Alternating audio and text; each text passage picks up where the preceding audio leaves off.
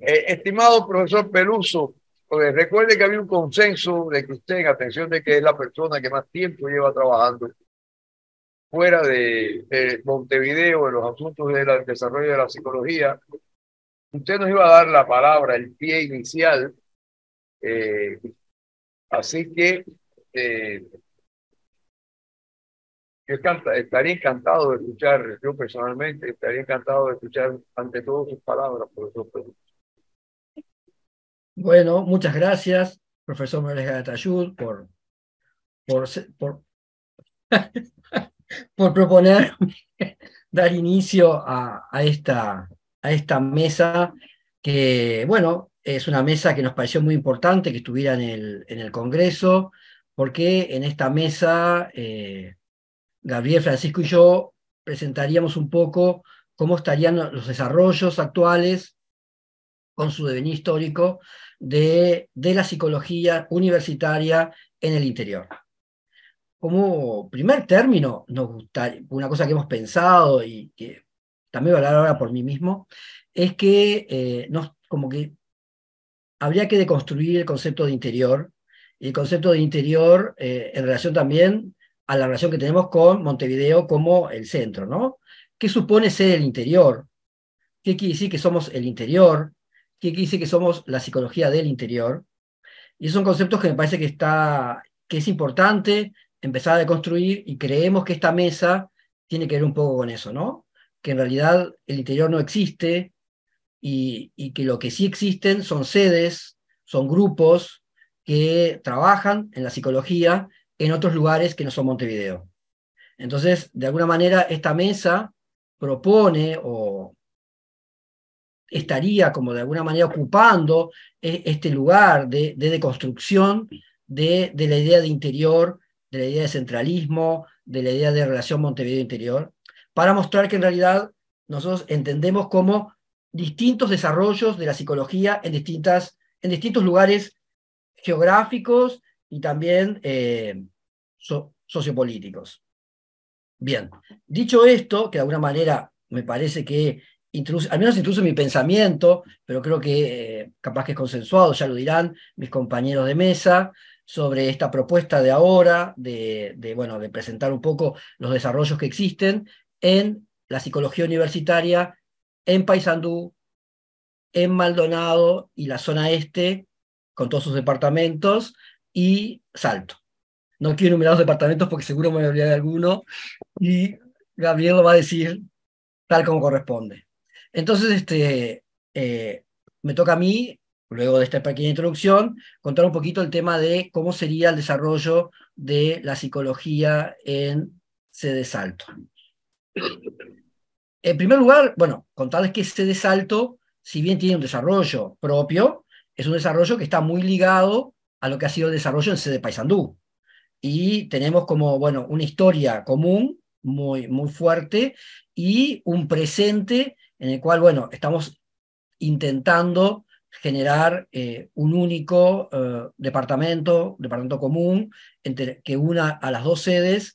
Y, eh, bueno, parte de ustedes que, participaron de, las actividades del Consejo de la semana pasada, bueno, habrán escuchado un poco esto de lo que es nuestra propuesta de integración y bueno, lo que ha sido el proyecto para buscar un fortalecimiento para nuestra carrera en esa zona.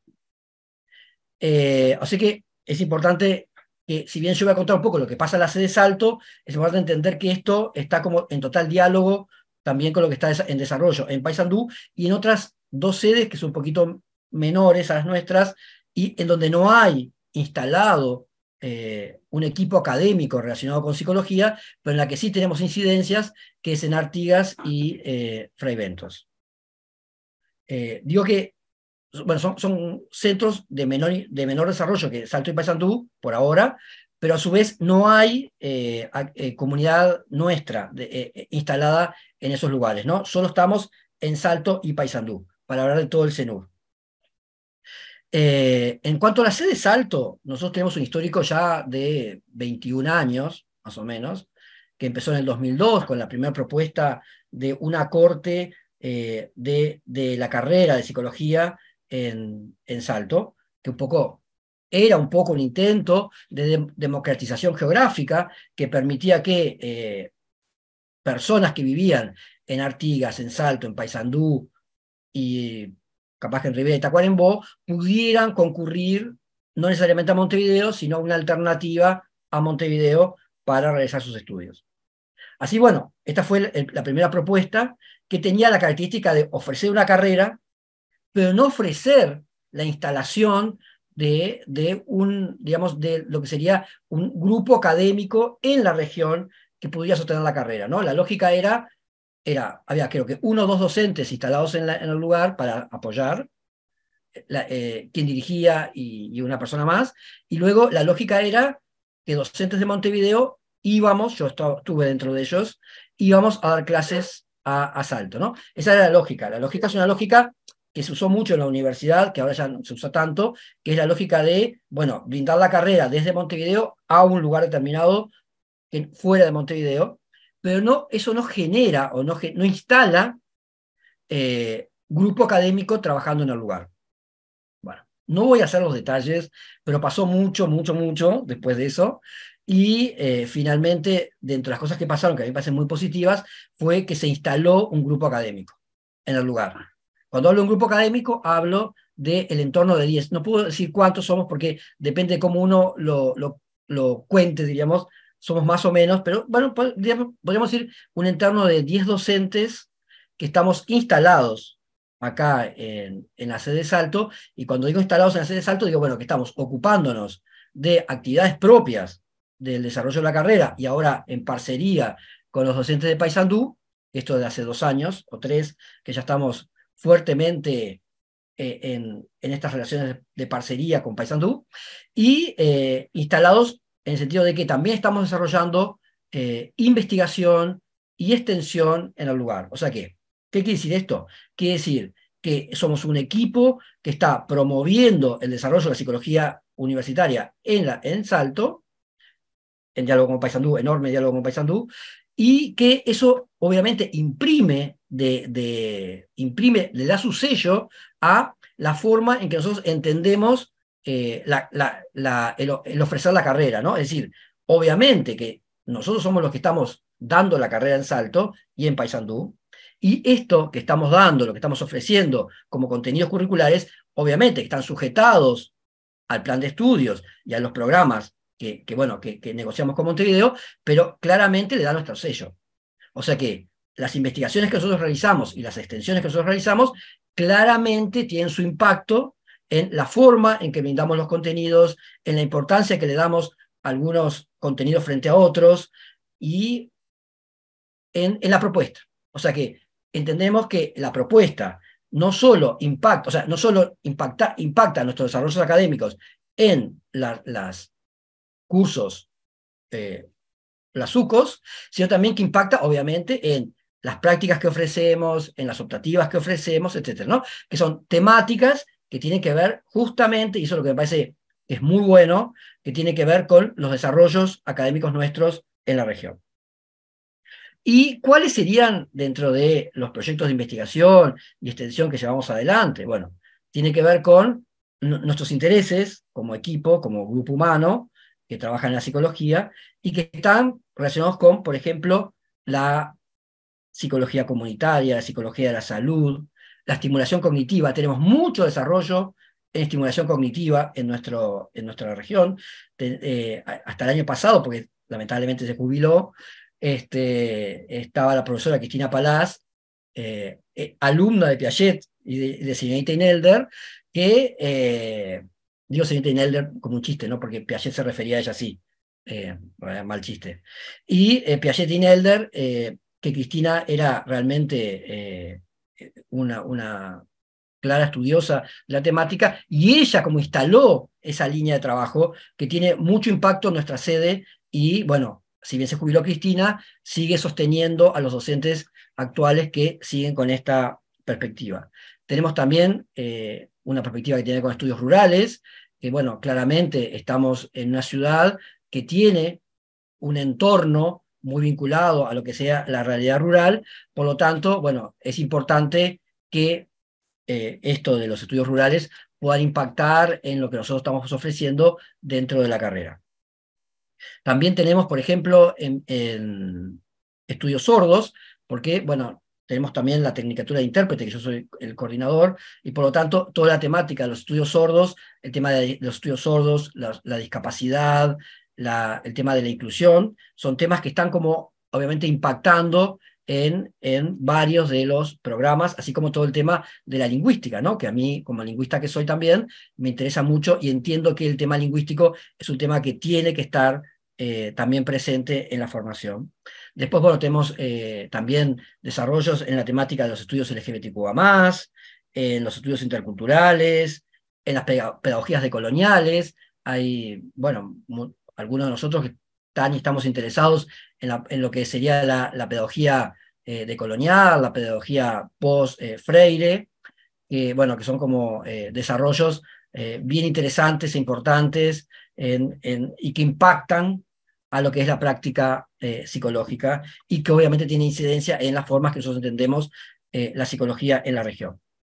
Con esto yo quiero, quiero colocar esta idea, ¿no? que en realidad eh, somos un equipo que, que, ha tenido ciertos desarrollos en, investigación y extensión, que publicamos en estas líneas de trabajo, que tenemos, bueno, desarrollos a nivel también internacional, publicaciones, etcétera, y que justamente están consolidando estas temáticas en la región y tienen su impacto en el plan de estudio y la formación de nuestros estudiantes.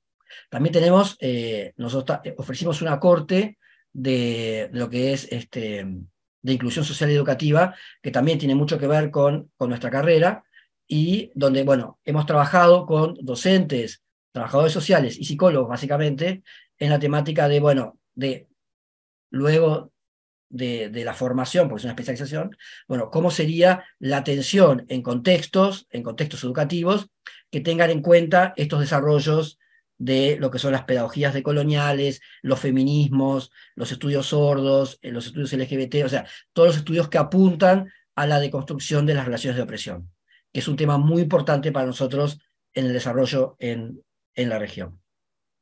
Así que bueno, eh, la propuesta que, yo tenía, que, pues, que, tenemos en la mesa, ¿no? que era presentar la sede de Salto, tenía que ver un poco con esto, ¿no? ¿Cómo es nuestra investigación? ¿Cómo es nuestra extensión? La extensión nuestra también tiene que ver con estas temáticas. Hacemos extensión en la línea de la estimulación, de la estimulación cognitiva, de la prevención de los intentos de autoiluminación, hacemos prevención en la temática, o sea, hacemos extensión en la temática de los estudios sordos, rurales, LGBT. Tenemos, eh, se, ha formado, capaz que algunos conocen, el CAPA, que es un centro de asistencia en psicología afirmativa que, eh, si bien se originó en Salto, y es una práctica, se originó en Salto, este centro de atención en psicología afirmativa a la población LGBTQA+, eh, ahora se, se expandió a diferentes sedes, ¿no? Hay en Paysandú, hay en Bella Unión, hay en Fraiventos. Entonces, es como que eh, es una propuesta que inicia en Salto, pero que ahora tiende a transversalizarse por todo el CENU. Entonces, todo, eh, hemos hecho extensión en, en, zonas rurales, se hace bastante extensión en zonas rurales, mucha extensión en instituciones educativas, porque tenemos un perfil, como ya dije, bastante vinculado a lo que sería psicología y la educación, y esto obviamente también impacta en el plan de estudio porque nosotros entendemos la extensión, obviamente, bueno, nosotros entendemos, al igual que, que, en la universidad entendemos la extensión muy vinculada también a las prácticas de enseñanza. Por lo tanto, muchos contextos de extensión se vuelven también contextos de práctica. Bueno, creo que dicho esto, me parece que ya creo que he presentado bastante brevemente lo que estamos haciendo en la sede Paysandú y ahora eh, le doy mi palabra, la palabra a, mis compañeros. No, gracias, vecino. sí. Eh, hola. A mí me parece que vendría bien, me parece que sigamos con el norte. Sí, sí. Eh, yo les voy a pedir, disculpa, voy a tomar un paso de agua porque estoy apestado, me olvidé de tomar el, el antibiótico. Bueno, vamos a ir eh, avanzando. Eh, ustedes eh, recuerdan la importancia de los actos fallidos, que fue claramente establecida por el psicoanálisis hace 150 años, poco menos. Y lo eh, destaco porque afortunadamente hemos tenido un acto fallido eh, por parte del profesor Peluso cuando dijo que con esto terminábamos a hablar de Paysandú y estaba terminando de hablar de Salto. Y eso eh, a nosotros de Paysandú realmente nos estimula enormemente porque eso quiere decir que hay ya una instalación ahí en el inconsciente de un eh, evidente y claro representante salteño de esa simbiosis a la que aspiramos en el norte del Río Negro para consolidar una psicología bien integrada, bien colaborativa, bien en función de todo ese territorio cuyas dos ciudades principales son estas dos y las que aprovecho para comentar aquí, Sotoboche, que mantienen una cierta, eh, eh, digamos, tensión subliminal histórica desde eh, la etapa, ¿no? Digamos, en mediados del siglo XX, cuando Paysandú se fue un poquito más adelante que Salto, después ahora Salto se fue más adelante que Paysandú en aspectos económicos, porque el neoliberalismo acabó con el desarrollo industrial en dirección liberal que tenía Paysandú, todo eso en el ecosistema de nuestro territorio que impacta lógicamente en las subjetividades y que tiene que ver con estos procesos. Bueno, eh, yo soy Francisco Morales Caratayud, eh, trabajo en Paysandú, en el Centro Universitario de Paysandú desde hace 10 años. Eh, no soy uruguayo ni en mi formación ni en mi origen nacional, yo soy cubano, un psicólogo con trabajo de, de décadas en mi país, cuando finalmente en esta etapa final, la postdata de mi vida académica, pues la he venido a hacer ahí placenteramente en el norte uruguayo y realmente ha sido una experiencia muy interesante. Yo creo que acá tenemos que destacar ante el auditorio, donde hay algunas estudiantes ya eh, a punto de pensar que saben de, de la zona, del territorio, como Lorena Náñez, presente otras estudiantes no conocen, no conocen tanto que hay realidad.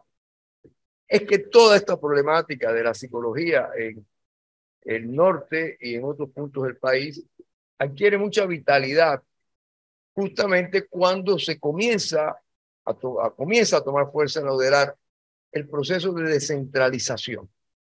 Este es un proceso que llegó tarde en el Uruguay. O sea, realmente cuando uno revisa las eh, historias universitarias latinoamericanas, eh, desde el modelo latinoamericano eh, de universidad que proclamara justamente, vivió aquí en, Uruguay porque estaba exiliado aquí, Darcy Ribeiro, un importante teórico de la educación superior universitaria, Darcy Ribeiro, que había exiliado aquí con motivo de alguna dictadura en su país, en Brasil. Ese modelo o sea que, por supuesto, él le da un poco de, de, visibilidad y aquí algunas personas, Carlevaro, por ejemplo, el profesor Carlevaro fue un importante contribuidor a esto, trazaron claramente desde los años 60 eh, tempranos la importancia que tenía para el desarrollo de Latinoamérica que las universidades abandonaran los centros capitalinos, metrópolis que dominaban la vida económica del país y que la universidad instalara su conocimiento más allá de los territorios. Los años 60 fueron fértiles, aún a pesar de las desgracias que tuvimos en América Latina eh, con la opresión, podemos hablar de opresión, instalada desde eh, la política imperialista, la instalación de dictaduras, etcétera, etcétera, pero no obstante ello, algunas universidades, algunos países latinoamericanos avanzaron relativamente bastante en la década del 70 en esos aspectos, en la década del 80, en la década del 90. Uruguay, como país más pequeño, es la lectura que yo tengo del proceso. Estoy viniendo acá desde el año 2000, antes de instalarme en el 13, ya después aquí, venía eh, con frecuencia, igual que otros países de América Latina. Eh, en Uruguay, yo, uno veía que la universidad eh, tenía, era macros, macrocefálica en la ciudad principal, que también domina, pues, puede decir, la constitución demográfica del país, la constitución cultural. Y eh, uno veía que todo, la Universidad de la República, la Universidad Pública, una maravilla desde el punto de vista de los desarrollos del país en cuanto a accesibilidad, y eso ya venía de, la, de, épocas anteriores, de, la época del desarrollo liberal del Uruguay, pero estaba todo en el centro. Yo aquí me propongo fundar, incluso ya todavía a principios de los 2000, una importante masa de estudiantes que venían de otros lugares.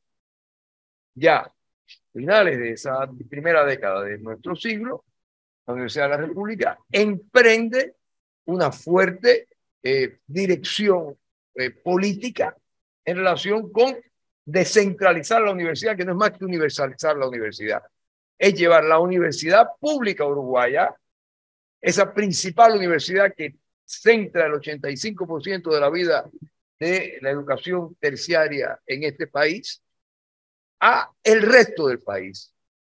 Llevarla al país, hacerla realmente de la República. Ese es el proceso de descentralización y entre sus principales actores hay figuras como Rodrigo Arocena, rector de aquellas etapas, y otras muchas figuras que colaboraron en ese proceso.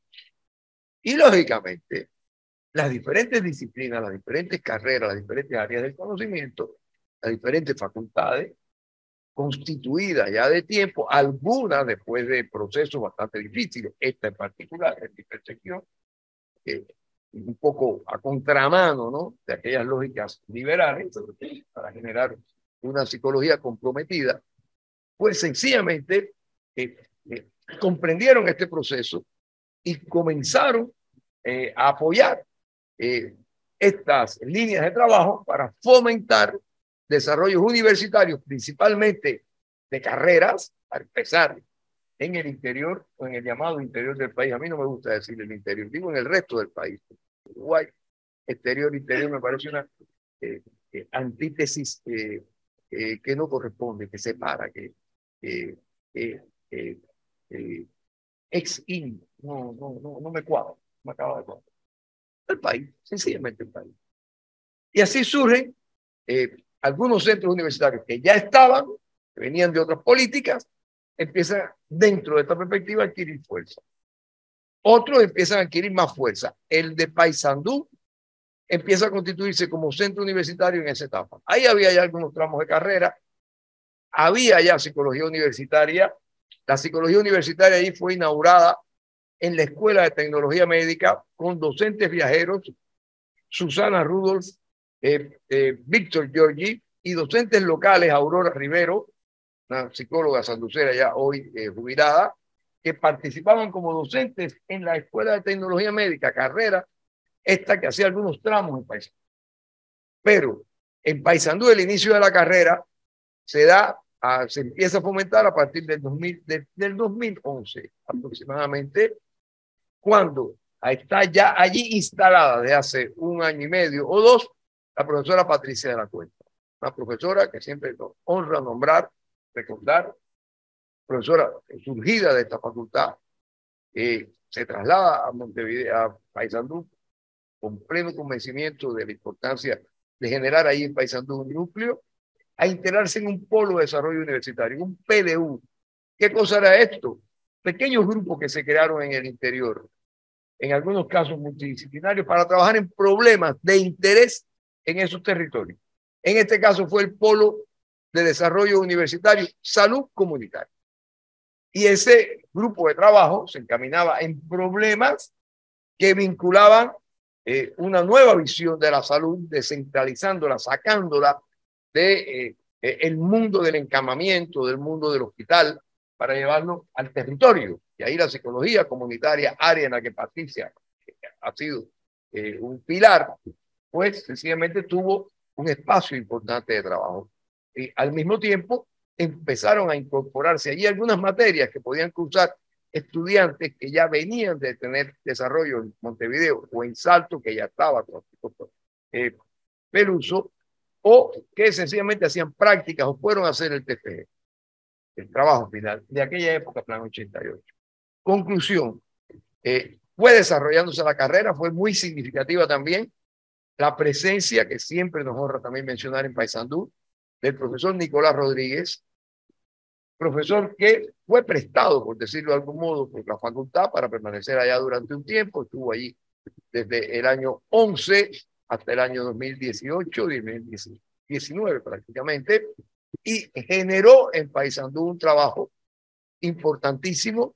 Él es un profesor eh, en la línea de la psicología social, con la salida al trabajo comunitario, pero un enfoque que es muy perspectivo e interdisciplinar en relación con el, el ambiente, con el entorno y colocó ahí también temas importantes que tienen que ver con eh, los componentes del entorno, eh, del ambiente, de eh, las comunidades y su actuación frente a las agresiones del ambiente, investigaciones importantes que se hicieron en el territorio, en, en Pichón, en, en Jung, fueron encaminadas por Nicolás, particular con el tema de agroquímicos, etcétera, en, en relación con inundaciones, y ahí fue muy importante el aporte de Nicolás, aparte del desarrollo teórico en psicología social. Entonces, estos son antecedentes. Ya en el 14 comienza la carrera de psicología allí plenamente. ¿Por qué empieza? Porque se establecen los CIOs. Ciclo inicial optativo de salud. No se entra a psicología por primer año del plan de estudio. Ya eh, acaba de salir el plan de estudio 2013, pero el primer año es común. Se hace un primer año con medicina, con eh, biología humana, con otras carreras con odontología, que tiene ciertas materias que sí van en la línea de psicología, son la trayectoria psicológica. Y comienzan a ingresar ciento y tantos muchachos por año. Eh, ¿De dónde vienen esos muchachos? Ya venían, ya de, venían de Carmelo, o sea, venían de, de, de Soriano, de Colonia, de, eh, eh, de Río Negro, de Tacuarembó, de Cerro Largo a ir ahí a Paysandú y concentrarse allí en Paysandú junto con los anduceros. Y el CIO, la entrada grande, eh, no todos lo vencían, un gran problema. Eh, eso representaba un, o representa, sigue representando un cierto desafío para estudiantes que vienen a veces de bachilleratos humanísticos, pero eh, nos permitía ingresar un número de estudiantes de psicología cada año, cada vez más interesante, más creciente. Y hoy en día está ingresando un promedio de 90 estudiantes por año. Empezamos ingresando 15, 15 20, 30 muchachos y hoy están ingresando unos 90 muchachos. Hoy están estudiando en ese territorio, hay 900 estudiantes de psicología entre Salto y País. Allá tienen otros CIO, el CIO es salud. Han egresado desde que comenzaron a ver eh, de 14 en adelante, en los últimos 10 años, han egresado más de 450, concretamente 452 estudiantes entre Salto y Paysandú egresados de psicólogo. Zona, además, cuando había 34 psicólogos por 10.000 habitantes en Paysandú, cuando el centro de psicólogos, perdón, en, Montevideo, cuando el centro de psicólogos del año 14, allá, en vez de 34, había, cuando más, en el departamento que más había, había 10 psicólogos por 10.000 habitantes, que era en Salto. En Paysandú había ocho, en Río Negro había siete, pero en Artigas había 1,1 psicólogos por cada 10.000 habitantes. Y esto ha ido cambiando gracias a estos enfoques de trabajo. Como ha ido cambiando también la proyección de la investigación, como mencionaba el profesor Pedricio. Con énfasis enfatizaba él en el área de salto. En Paysandú, ya les comentaba, las investigaciones, por ejemplo, que fue conduciendo Nicolás Rodríguez, las que fue conduciendo Patricia, sobre las barreras psicosociales en salud, la que nos ha tocado a nosotros, y llevando adelante en relación con problemáticas eh, psicosociales, en relación con la salud, que es la línea que nosotros trabajamos, pero en particular, cómo se integra el paradigma de salud comunitaria, gestión de salud positiva, un paradigma diferente de la salud, en vinculación con la psicología, las problemáticas de salud del territorio. Solamente quisiera finalmente destacar, hay ahí un colectivo pequeño, aquí tenemos a una de las profesoras, la profesora Verónica Paradiso. Hoy por hoy somos cinco docentes en paisaje y tenemos eh, casi 400 estudiantes. Estamos ahí eh, esperando y, y, queremos que vamos a salir bien. Algunos ajustes que estamos haciendo con algún concurso que anda dando vuelta, Pero estamos esperando que se pronuncie la Universidad de la República para que nos apoye a Paisandú y Asalto en un proyecto de fortalecimiento de carrera que nos permitirá poner ocho docentes más en el territorio de Asalto y de Paisandú. Estamos produciendo y nos asombramos ahora cuando hicimos este proyecto y lo presentamos, se debatió aquí, como decía el profesor Perú, en el Consejo hace unos días. Nosotros revisamos lo que habíamos hecho. Solamente en el 20, el 21, el 22 y los primeros meses del 23, entre los docentes de Salto, que son ahora unos 10, y nosotros que somos ahora unos 5, hemos hecho 39 publicaciones. Y uno dice, publicaciones. Eso quiere decir en, 30 en 40 meses hemos hecho 39 publicaciones. Es verdad que muchas de esas publicaciones son capítulos de libros.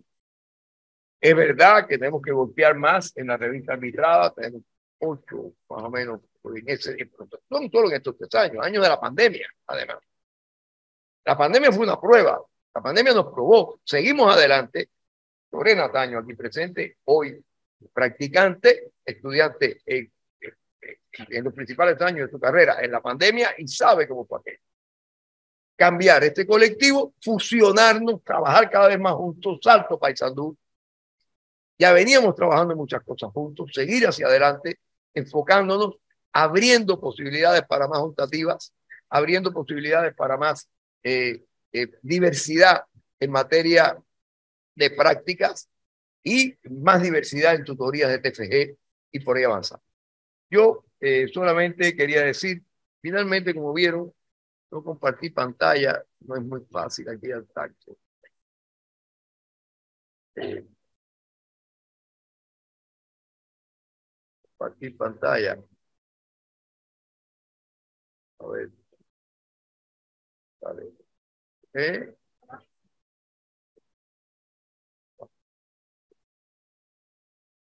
Ah, ya estaba abierta.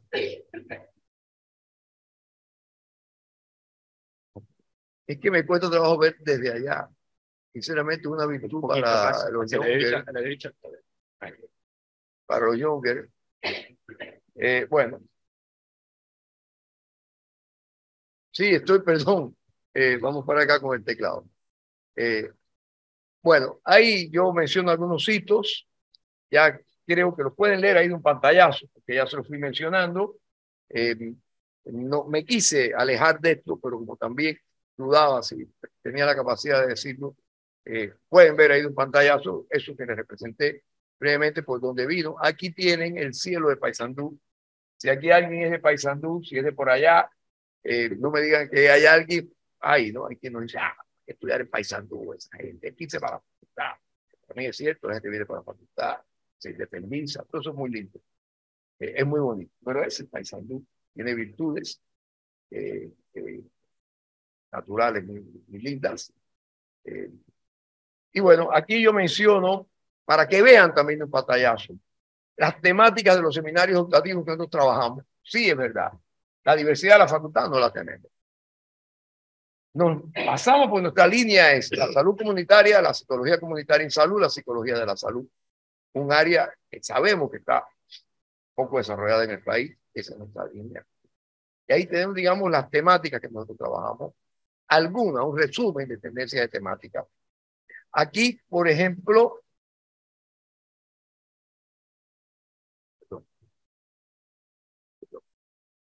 eh, aquí tenemos algunas temáticas de prácticas. Ahí siempre nos quedamos cortos, totalmente paisando, totalmente cortos. Unos grandes problemas que tenemos. Pero tratamos de abrir todo lo que podamos si vamos a la extensión, que está muy vinculada con esas prácticas, trabajamos en temáticas de inclusión social, en diversos grupos eh, etarios en, la ciudad, en el territorio, más allá de la ciudad, en temas eh, que tienen que ver con eh, problemáticas barriales, en temas que tienen que ver con temáticas justamente de salud mental, en lo que nos estamos moviendo también en el momento actual, en temas de inclusión social, etcétera, etcétera. Yo les quiero mostrar aquí también, eh, hablarle de dos actividades que son claves en el desarrollo de la psicología universitaria sanducera. surgidas en estos años. Uno es el proyecto UNISA. UNISA es el primer proyecto integrado de universidad saludable en el Uruguay. Digo esto porque hay muchos trabajos, muchas tareas que se enfocan aquí en Montevideo, hay muchísimas, la, de la bicisenda, muchas, eh, que se enfocan en esa concepción de la universidad saludable. Pero este es un proyecto institucional, es un proyecto que se movió, que surgió de psicología, que estaba buscando cómo ejercer influencia psicológica en las motivaciones de los estudiantes para, y de las personas de la, de todo, de, del ámbito universitario por el, el, cuidado de la salud. Y hoy en día es un proyecto eh, eh, muy avanzado. Ahí tenemos un libro que presentamos hace poco. Participan muy diversas disciplinas en ese proyecto y estamos tratando, por así decirlo, que en Montevideo otras instituciones eh, pues también lo tengan en cuenta. Y aquí en la escuela de verano. La escuela de verano en salud comunitaria. Se enfoca en los aspectos psicosociales de la salud comunitaria y concentra en Paysandú todos los años aproximadamente eh, unos 200 estudiantes y docentes procedentes de los más diversos lugares de América Latina. Y aquí, por ejemplo, ahí tienen, entre otros, por ejemplo, ahí al lado de, está el profesor Enrique Zamocada, está conmigo, ahí está eh, eh, Caterina Alquidiácono, es eh, la vicepresidenta de la Sociedad Europea de Psicología, en Paysandú, el día, eh, eso es el día 3 de, eh, de abril de este año. Trabajamos, este, este caso en particular, estaba hablando de la perspectiva psicológica de la participación. Y bueno, yo con esto ya me, voy despidiendo y ahora pasamos al este, sureste del país. Gracias, don Pancho. A ver, cuando, cuando el compañero estaba hablando aquí, eh, me surgió la necesidad de señalar que en realidad en este momento estamos formando cuatro células. Está el nordeste, que ya está empezando a funcionar, y el rector acaba de dar la patada inicial del CELUR oeste.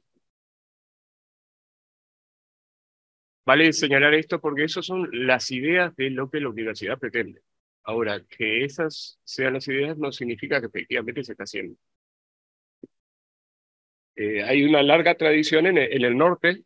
Eh, de hecho, yo fui docente viajero a principios de siglo, lo cual me hace, ya decir principio de siglo me hace sentir muy bien.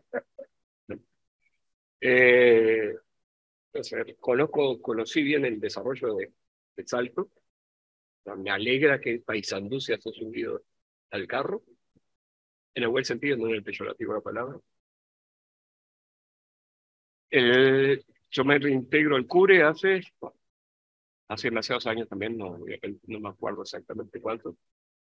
Pero el, CURE, si se quiere, es un hijo menor de este proceso de descentralización. Eh, cuando eh, Francisco señalaba la, la, necesidad de agradecer a, a Rosena todo este proceso, me acordaba que el CURE le debe también gracias a Gregory Randall.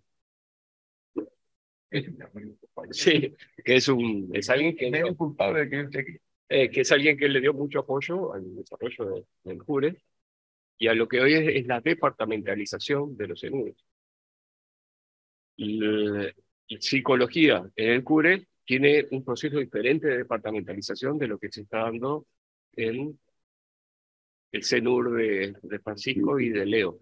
Sí, de eh, eh, da claro, y le dije Leo vecino porque Leo es vecino de Pinar, yo soy de Pinar y de, y de Rocha así como Leo es de Pinar y de Salto.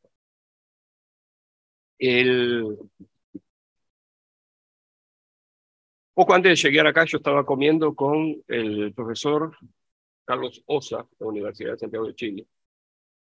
Y él me comentó algo que sucedió en Santiago con la Universidad Central, que es un proceso que creo que es por fuera del sistema neoliberal eh, extremo que tiene que tiene Chile. Es un proceso eh, organizacional que sería muy favorable para nosotros. Ellos empezaron con regionales también. Pero las regionales en este momento se han vuelto universidades feministas. De hecho, la gran dificultad que tienen los CENURES es que no existen la ley orgánica. Y si los CENURES tienen lugar en el CBC, es porque el CBC le quiere dar lugar, no hay ninguna ley que obligue a que haya ningún tipo de representación de los CENURES. Eso es una dificultad. Un proceso de centralización montevideano, imperialismo, decía Don Pancho, es algo de eso. El imperialismo del que hablé, sí, para arriba. Eh, acá hay un el centralismo montevideano. El proceso de centralización es un proceso que es como un agujero negro, chupa todo. Eh, pero esto no se da solamente con Montevideo. En el este no sucede algo similar dentro de la regional. En el este, Maldonado se chupa todo, viste, tengo que recordarles siempre que la regional este no es Maldonado. La regional este es Maldonado, Rocha, 33 y La Valleja. Son esas, son esas, son esos tres departamentos, esos cuatro departamentos, ¿bien? Acá me vino el lapso centralista también. Son cuatro departamentos. Lo que pasa es que la sede, la sede de que hay en Minas es un edificio. Si bien hay, hay una docente trabajando allí, es un edificio que está funcionando. El, el centro de la trayectoria de psicología ah, en, en el CURE se sostiene fundamentalmente en el CIO. Los CIOs son fundamentales. ¿Cuánta gente hay de los CENURES aquí? Una Los CIOs son fundamentales porque son lo que más se acerca a lo que era el... ¿Sí? ¿Quiénes son de los CENURES? ¿Hay alguien que sea aquí de algún CENUR, además de las compañeras? Ahí está. Eh, los CENURES son centros regionales de la Universidad de la República. En este momento. ¿Eh? Sí, sí. Es que yo a veces me lengua la traba, ¿viste? Y encima me yo muy mal con los micrófonos. Así que voy a, a gritar y hacer lo que nunca hago.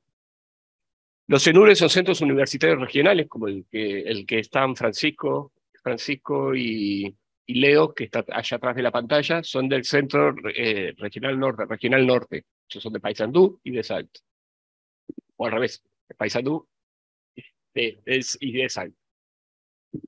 Eh, como dice, bien dice Francisco, Paisandú y Salto eh, son hermanos e iguales, pero siempre, como todos hermanos, eh, tienen. Lo mismo pasa en el, en el Cure con Rocha y Maldonado. El otro CENUR que está efectivamente funcionando es el CURE, que es Centro Universitario Regional del Este.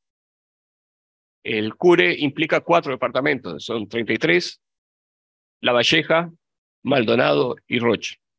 Hay otro CENUR que ya empezó a funcionar también, que es el nordeste, que es Cerro Largo, Tacuarembó y Rivera.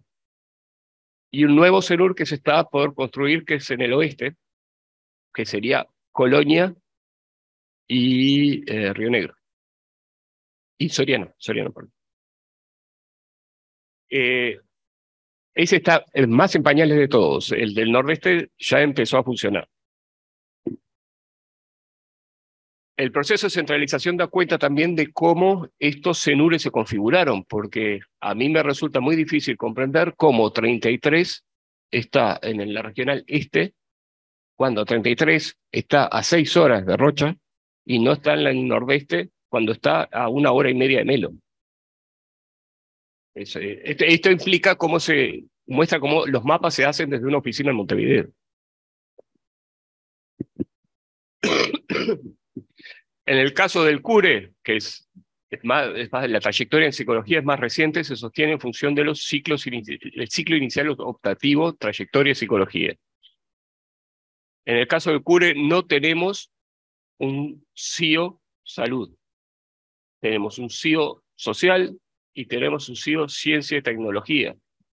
Formalmente, la trayectoria psicología, que son los dos primeros semestres, equivalen a los dos primeros semestres de la licenciatura en Montevideo, formalmente pertenece al CIO Ciencia y Tecnología.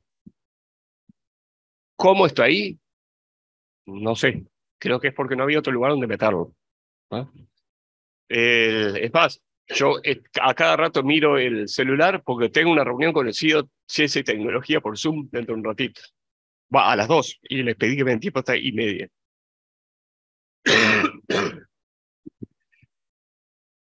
eh, si bien formalmente es el CIO, utiliza el CIO Ciencia y Tecnología, para darles una idea, la directora hasta ahora era una astrónoma. Hay una nueva directora ahora, es gente que no es muy cercana disciplinarmente. La mayor parte de los créditos los obtiene del CIO social. Entonces, estrictamente debiera estar en el CIO social, ya que no hay CIO salud. Este año, con la transformación, con el llamado transformación a fortalecimiento que, planteaba Francisco, se buscó la necesidad de eh, producir un CIO salud en el CURE. La dificultad que tenemos en el CURE para producir un CIO salud es que no tenemos recursos humanos para cubrir toda el área de salud. Esto no implica que en el futuro nos larguemos. Por ahora seguimos en ciencia y tecnología. Tenemos formalmente cuatro docentes en el CURE, formalmente, ¿no? Que es mi caso, o con un 80% de carga horaria cedida por... Disculpen, por eso tomé la pastilla. Eh, cedida por el, Consejo de la Facultad de Psicología, tengo 80% de mi carga horaria en el CURE. También lo tiene Joaquín Márquez, del Instituto de Psicología Social, que en este momento es el director del CURE, es el director de todo el CURE. Habitualmente se confunde el director de la sede Maldonado del CURE, que es Iglesia, con la dirección del CURE. La dirección de todo el CURE es Joaquín Márquez. Iglesias es director de la sede Maldonado. También está Elian Heber y nuestro viejo matemático Mario Luzardo.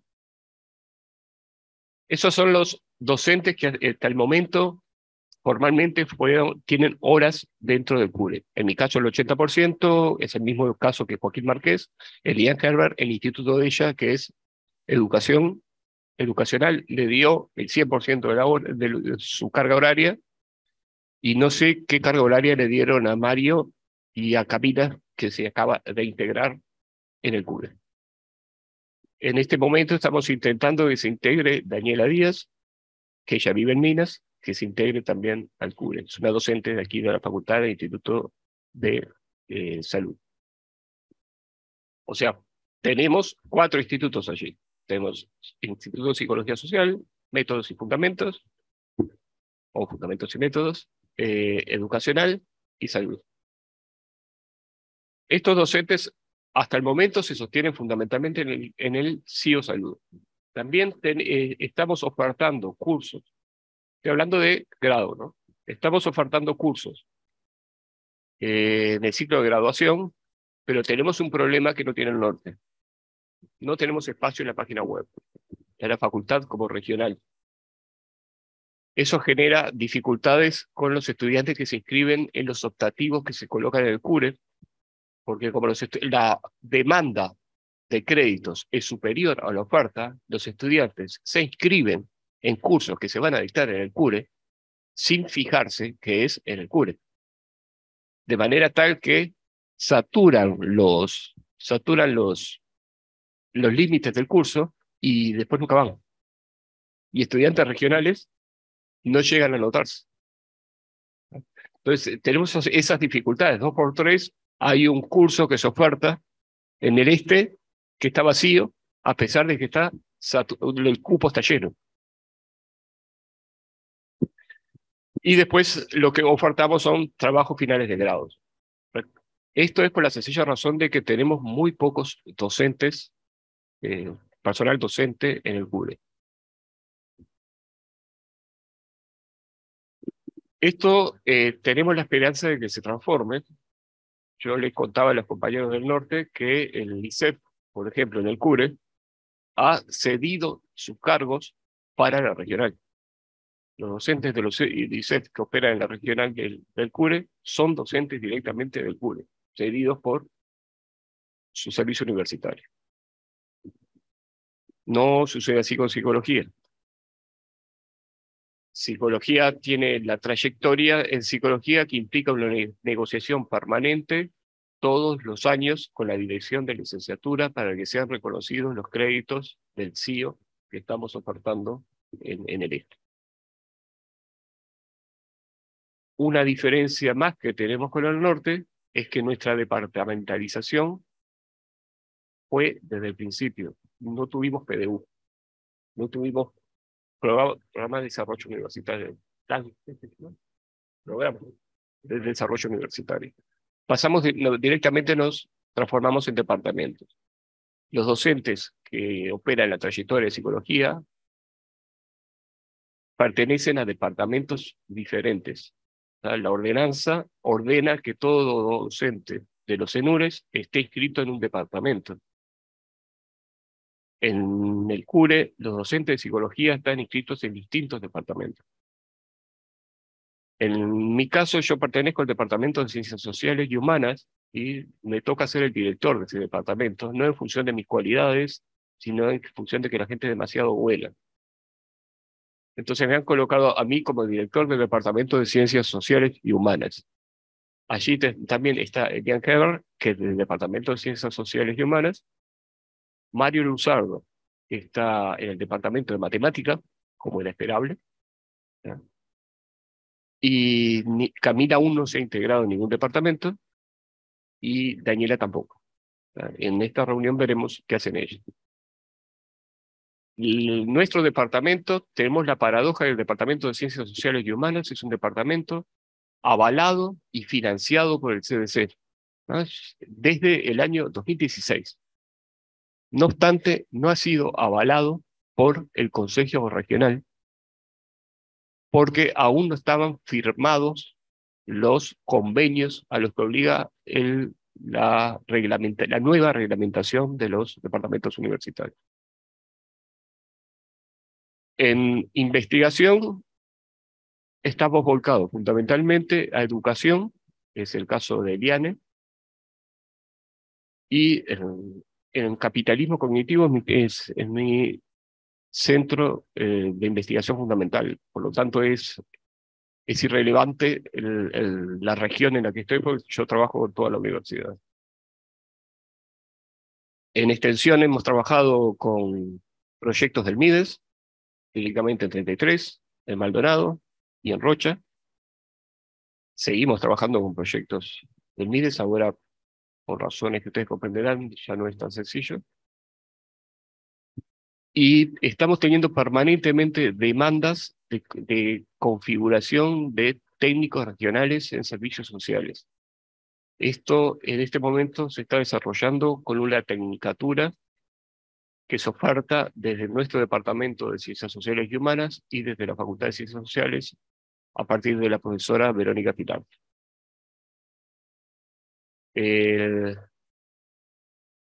La principal dificultad que tenemos como servicio es el no reconocimiento de su existencia. Esto es tan así que en el consejo anterior, en el llamado anterior a fortalecimiento en el interior, teníamos recursos para presentarnos a la construcción de una tecnicatura en acompañamiento terapéutico, pero no fue avalada por el consejo de esta facultad porque los consejeros desconocían que habían docentes de la Facultad de Psicología trabajando en el CURE, no todos los consejeros. Fundamentalmente, consejeros estudiantiles y consejeros, una consejera egresada. Eh, disculpen, estoy muy activado porque con el celular estoy con la gente que me está llamando del otro lado. Entonces, abro, abrimos a preguntas y a discusión. Sí. Sí.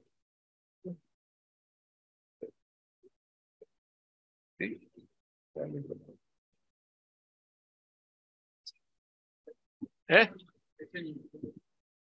Espero. Generalmente no tiene.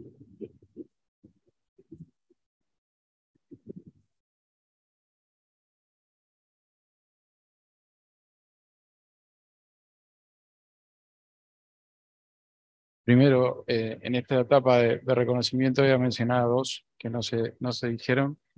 Uno es a Tomasino, que fue el primer presidente de la Comisión Coordinadora del Interior en el, en el rectorado de, de Arocena. Y el otro, porque me parece importante destacarlo, es la Federación de Estudiantes Universitarios del Uruguay, que fue quien promovía a Arocena con una plataforma política que, entre otras cosas, priorizaba la descentralización universitaria. Y lo traigo porque en este momento, ante la discusión de la creación de una universidad virtual, hay un fuerte ataque permanente, que es algo que se reitera, pero se plantea nuevamente un ataque a la Federación de Estudiantes, como que si a la Federación no le importara la descentralización de la universidad, y en realidad fue la principal promotora del proceso descentralizador desde el 2006 en adelante. Sin lugar a dudas, más allá de que lo encabezara Rosena por una cuestión de de que fue el rector elegido, el impulso principal de todo esto fue de la federación, o sea, el movimiento estudiantil organizado. Lo segundo, yo creo que, también a partir de la experiencia, algo de lo que planteaba eh, Francisco de, de, los efectos. Cuando nosotros iniciamos psicología en Salto, la fantasía era que iba a disminuir la matrícula estudiantil en Montevideo y esa fantasía no se cumplió, en realidad nos aumentó la matrícula, porque al número de estudiantes que se seguían inscribiendo en Montevideo, se le sumó todos los que se inscribieron en Salto. Con lo cual la, comprobación y, después haciendo el análisis, uno lo que veía es que en realidad en la medida que la universidad se instala en el interior, lo que hace es crecer la, el, crecer la, la, oportunidad de que más estudiantes puedan ingresar a la universidad. Entonces esto que vos planteabas de la democratización de la educación superior es totalmente así quienes quieren seguir viniendo, quienes pueden tener condiciones para venir a Montevideo por la centralidad, por lo simbólico, por cuestiones que hasta que son, pueden ser verdaderas, vienen a Montevideo, pero en realidad el instalarse en el interior genera la oportunidad para aquellos que no pueden movilizarse a Montevideo. Y ahí se amplía la base de, de la matrícula estudiantil. Y ahí es donde me parece importante que, la facultad empiece también a tomar eso como, como estrategia de democratización de la psicología universitaria en el resto del país. Vos también hoy traías lo del censo y es significativo. La, la presencia de psicólogos y psicólogas egresados en Uruguay, el 70% está localizado en el área metropolitana. Eso es altamente antidemocrático, porque no hay un acceso a la psicología de, del resto del país, de la forma que debería haberlo. Y, y, el, y la formación es la primera de las fases de las posibilidades de, de, mejorar las condiciones de salud en el resto del país o del trabajo de la psicología, ya sea desde el ingreso a la educación superior, pero también desde las posibilidades de contar con, con profesionales y con, y con gente trabajando de la formación de psicología en todo el, en todo el territorio. Entonces eso me parece que la facultad debiera tenerlo. Y estas dificultades que ustedes traían, yo ahora vos cuando decías lo, administrativo me acordaba, las primeras discusiones hubieron, la división territorial que se establecía para los CENURES era totalmente distinta, sobre todo mucho el trabajo de los geógrafos, me acuerdo, era la división más por cuencas o por los niveles de circulación, primó la administrativa, entre otras cosas por los propios intereses de, de los intendentes, por ejemplo, que, que, en realidad les interesaba más esa división administrativa, porque les, eh, le generaba mejores posibilidades de, participar en esa incidencia de construcción de universidades de sus propias eh, plataformas políticas, digamos. Digo porque también esto de la descentralización no solo incidieron eh, actores universitarios, sino estos otros actores, Oscar de los Santos en, en, el CURE, por ejemplo, fue fundamental, sobre todo Maldonado, y creo que eso también hay que tenerlo en cuenta. A mí me preocupa lo de facultad, porque me parece que facultad no, ha encarado seriamente o, con un pienso colectivo, institucional, su inserción en el resto del país. Eh, y me parece que hay un montón ahí de dificultades para, levantar. Hay varias estrategias porque yo creo que la, movilidad de los docentes de Montevideo también permite construir eh, equipos docentes locales. De hecho, en Salto hay muchos de los hoy docentes que fueron estudiantes de, los cursos que dimos muchos de los docentes que nos movilizábamos hasta allá. Es una estrategia más de largo plazo. También no en vano, eh, capaz que acá me equivoco, pero si Leonardo es de Montevideo, Gabriel es de Montevideo, Francisco es de Cuba, la estrategia también de la descentralización pasa porque haya muchos que nos ubiquemos en, el plan de descentralizarnos y en, y, en el, y en el ejercicio de desplazarnos territorialmente, a radicarnos territorialmente en otros lugares del país que no sea solamente Montevideo. Y eso es lo que debe favorecer también la universidad, pero entonces debe favorecer todos los movimientos posibles. la movilidad, la radicación y la movilidad también de los propios estudiantes de grado. Hoy día, yo lo hablamos varias veces con, con algunos de ustedes, hoy día es mucho más sencillo para un estudiante de Córdoba estudiar en Montevideo que para un estudiante de Salto estudiar en Montevideo.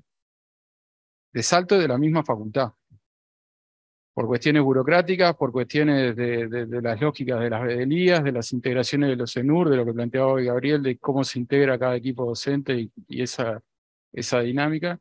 Y esas son las cosas que nosotros tenemos que empezar a romper y a construir nuevas formas y nuevas dinámicas de, trabajo, que en algunos casos pasan por cuestiones de facultad y en otras cosas pasan por cuestiones más, más generales.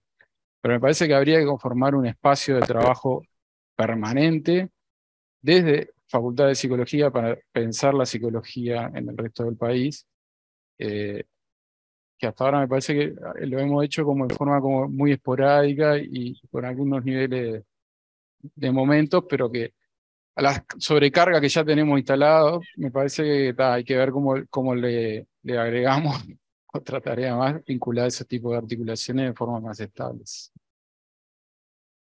A mí me gustaría hacer un comentario porque eh, eh, Gabriel ha tocado puntos que son centrales. Es decir, esto tiene como varios planos, esta temática. Hay un plano donde tú puedes situar ¿no? los hechos académicos, eh, los datos, etcétera, etcétera. Esto da para mucho. Esto es un giro cultural importantísimo. Y lo que uno siente muchas veces en el interior es que el giro cultural no se comprende. Es como que hay un principio que yo siempre digo, que en los procesos descentralizadores, donde tuve la suerte en mis vidas académicas pasadas de, de, de, participar, en algunos casos con bastante eh, dedicación al proceso, es eh, el principio de la centralización normativa y la descentralización ejecutiva. Y ese principio no se ha cumplido en los procesos descentralizados de la Universidad de la República. Por lo menos no se ha tenido consciente, no se ha tenido presente, no se ha tenido en, en, en un lugar eh, determinado como un lugar eh, preciso. Aquí, con el tema de los centros del interior, tenemos una eh, complicada dialéctica que tiene nada que ver con la dialéctica del conocimiento contemporáneo. O sea, porque está el otro gran problema la Universidad de la República tiene una estructuración basada en eh, el disciplinamiento napoleónico, como se organizó la Universidad Napoleónica, eh, basada en la idea de facultades.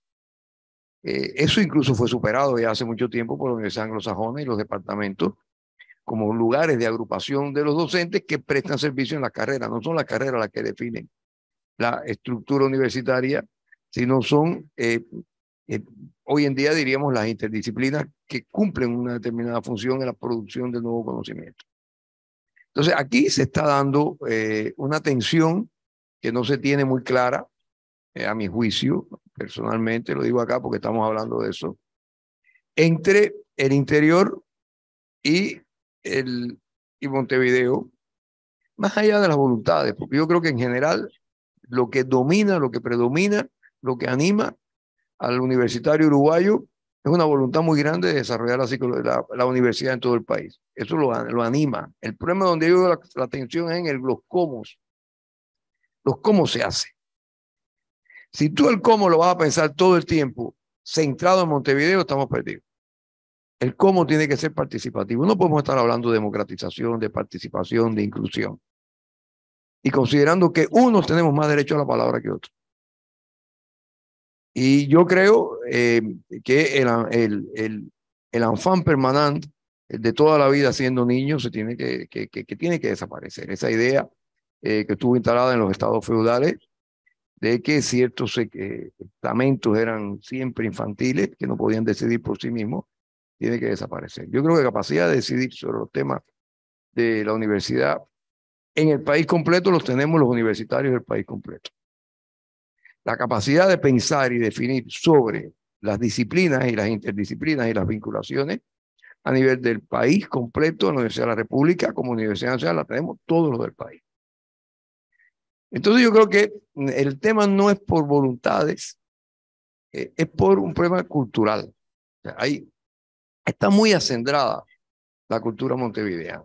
Te lo digo y lo digo aquí con plena eh, confianza, porque parto de eso. Si todo el mundo quiere lo mejor, o sea, hay consenso en que todo el mundo quiere lo mejor, que todo el mundo quiere integración.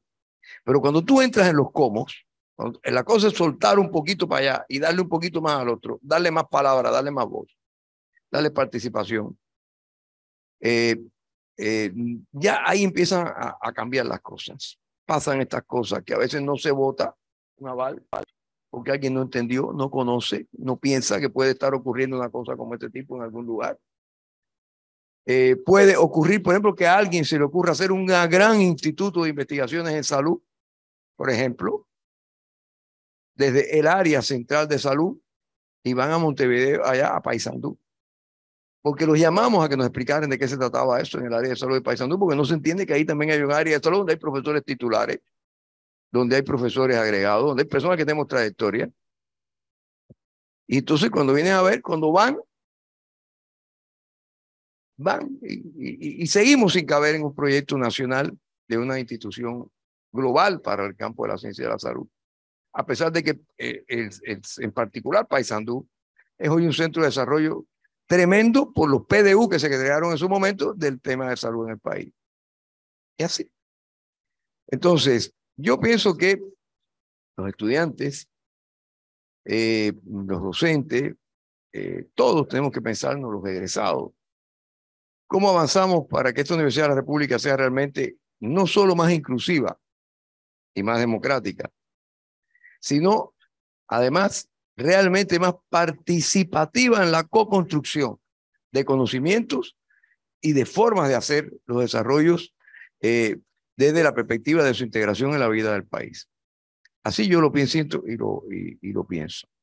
Sí, tienen que venir más profesores, eh, tenemos, tenemos que tener más diálogo los profesores de aquí, los de allá, pero para que nos ayudemos mutuamente, porque siempre se supone que el de acá nos tiene que ayudar allá. Cuando acá los hemos ayudado bastante, yo dirigí tres años el doctorado aquí desde Paysandú. El doctorado de la Facultad de Psicología. Me eligieron, y a los doctores, porque yo quisiera. Y lo dirigí tres años, montándome en el Copay, viniendo para Paysandú, haciendo todo lo que había que hacer después con el SUB, y ahí lo, ahí lo pudimos con nuestras compañeras que estaban en la dirección del doctorado. Las posibilidades son infinitas de trabajo común, pero tiene que pensarse con cabeza común, con corazón común y con manos comunes. No solo para la voluntad de integrar y democratizar, sino para los cómo hacemos las cosas. Hacemos contando con todos, con todos y para el bien de todos, que son palabras para mí mágicas, consignas de mi vida, que pronunció José Martí hace más de 150 años y que las tengo en el corazón eh, como mi pensamiento primero. Eso es lo que tenemos que hacer todos los seres humanos, con todos y para el bien de todos. Y ahí está la clave.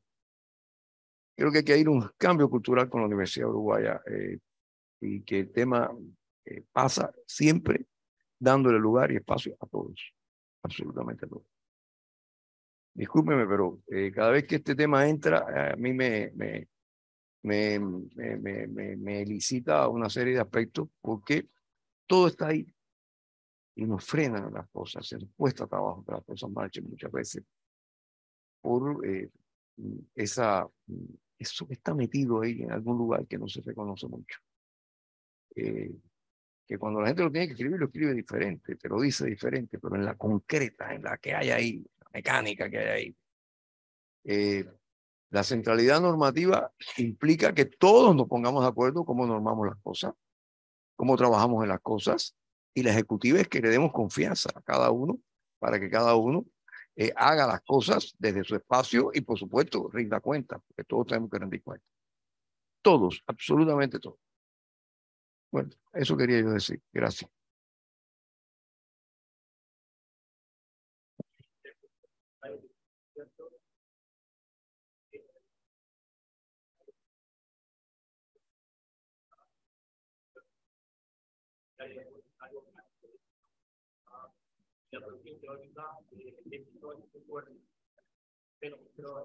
No oigo, no oigo nada.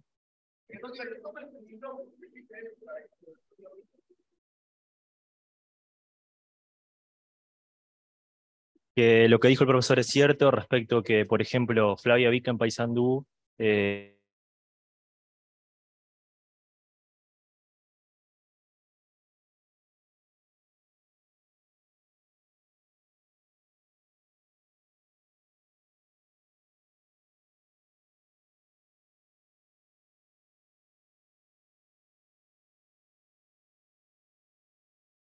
en el por qué no van estudiantes de Montevideo hacia, los estudios. en el CURE tenemos dos licenciaturas que son del CURE, exclusivamente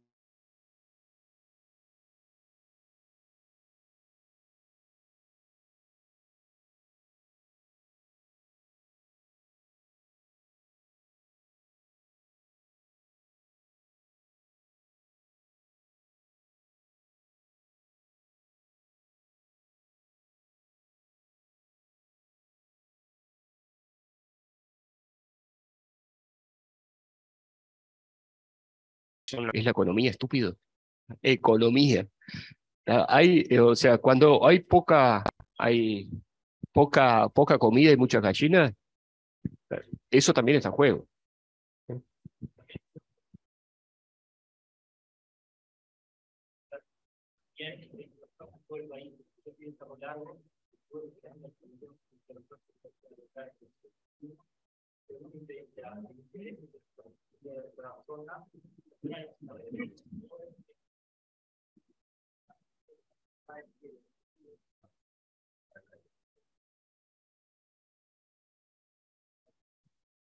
Eh, yo sí de Cerro Largo y en el 2021 se hizo la oferta educativa que Ludelar quería proponer en esa zona y se, por el estudio que se hizo en la zona se declara que, por ejemplo, en Cerro Largo hay una demanda para la carrera técnico en madera.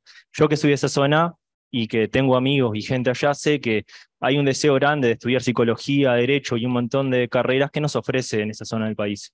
Y también estoy de acuerdo con lo que dijo usted, que 33, que está a una hora de Melo, tiene que ir hasta Rocha, que, o sea, no tiene sentido.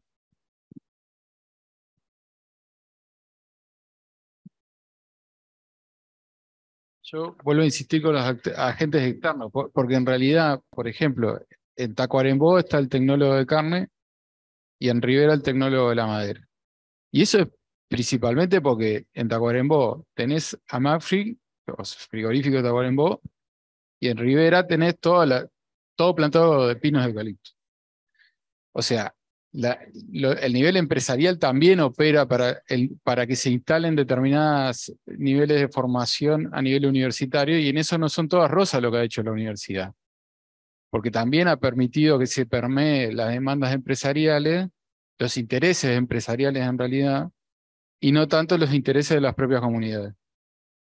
Entonces, estos procesos de descentralización también han tenido su sombra en ese sentido, de, que no hemos podido, porque en este tema de que esto es la, economía, también hay quienes, quienes financian determinados emprendimientos y la universidad termina habilitando estos espacios también en función de conseguir eh, algunos convenios, algunos acuerdos. Muchas líneas de investigación de estos tecnólogos tienen que ver con, con convenios y acuerdos con estas empresas que permiten a su vez financiar docentes.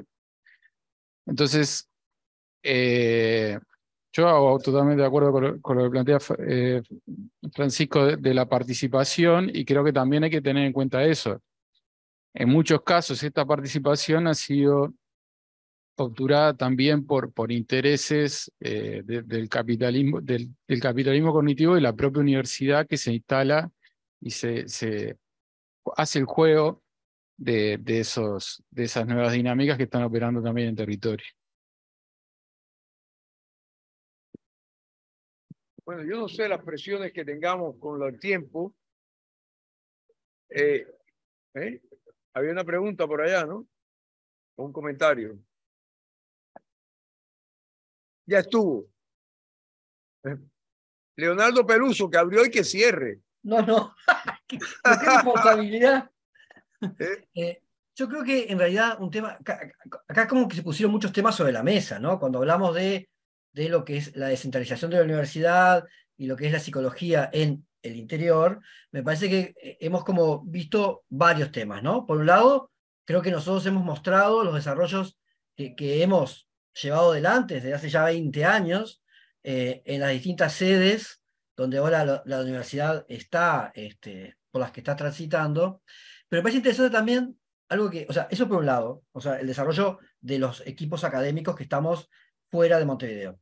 Pero por otro lado me parece interesante otra cosa que se planteó, que creo que, que tiene que seguir resonando, es cómo se realizó o cómo la universidad está logrando esta descentralización. Una universidad que se pensó montevideana, o sea, Universidad de República, pero se pensó montevideana, o sea, hace poco nadie pensaba que la universidad estuviera fuera de Montevideo en realidad.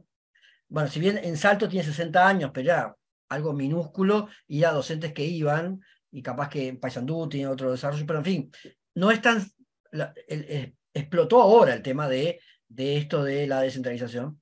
Entonces, en, esa clave, cómo se pensó la descentralización sigue siendo, a mi criterio, o como, como, lo, o como se ha planteado, se sigue pensando en términos montevideanos. Por ejemplo, más allá de las buenas voluntades, y creo que Facultad de Psicología nos súper ha apoyado históricamente en este proceso, nuestra facultad sí que nos ha apoyado, hay otras facultades que no han apoyado para nada los desarrollos académicos fuera de, de, su sede, pero, Montevideo, pero Facultad de Psicología, yo realmente en ese sentido eh, eh, estoy como muy eh, impactado por la, por, por, por la fuerza con la que la facultad ha estado apoyando sistemáticamente el proyecto de psicología fuera de, Montevideo. Pero sin embargo, las propias lógicas institucionales con las que este proceso se ha dado hacen que haya este tipo de dificultades. Por ejemplo, un, concepto que, existe desde, desde, que se inició este proceso es el servicio de referencia académica. Nosotros, por ejemplo, no podemos hacer absolutamente nada sin que Montevideo nos apruebe. O sea, cada cosa que damos, cada paso que damos, Montevideo nos tiene que aprobar. Por ejemplo, si nosotros queremos eh, hacer un llamado a un grado 2 con plata del CENUR, o sea, está en el CENUR, la plata del CENUR, el Consejo lo vota, o sea, ese grado 2 lo va a votar el propio CENUR. Tiene que pasar primero por Montevideo para que diga que está bien planteada la propuesta. Eso, fíjense, ese detalle no es, no es menor porque quiere, es de alguna manera, está como, como sosteniendo de manera, eh, de una manera eh, administrativa, sosteniendo nuestra, imposibilidad de, definir nada, porque todo lo que definamos, esa cosa tan ínfima como cómo se hace un llamado, lo tiene que autorizar Montevideo. Entonces, creo que en realidad también hay mucho que la universidad tiene que pensar, independiente de nuestra facultad y de nosotros, mucho que la universidad tiene que pensar en relación a, en relación a cómo se está dando esta descentralización y, y si realmente eh, Montevideo está logrando reconocer que las otras sedes también están teniendo su desarrollo y pueden tener su autonomía y pueden decidir, ¿no? No son niños y niñas que tienen que pedir a Montevideo autorización hasta para llamar un grado 1.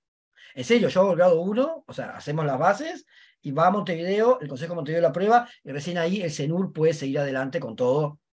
Eh, esos son detalles, pero que hacen también a ciertas lógicas que creo que después de llevado ya un tiempo de, existencia de los CENURes, hay que empezar a, a, a rever.